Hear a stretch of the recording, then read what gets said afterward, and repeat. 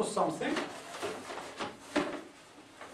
So we look for some object, and we took one of its characteristics or one parameter, so location. Right? Mm-hmm. And then you try to divide all possible locations of this object into halves. Okay? Mm-hmm. Now, so you found that it's in that corner.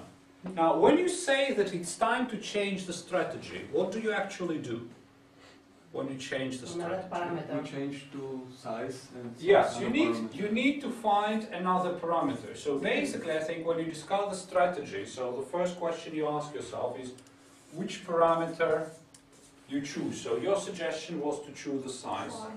So we just discussed that according one of the parameters, so you had a very certain mental inertia. So you assumed that this parameter has a certain value, like for example, Mm. with the parameter visibility, Mm.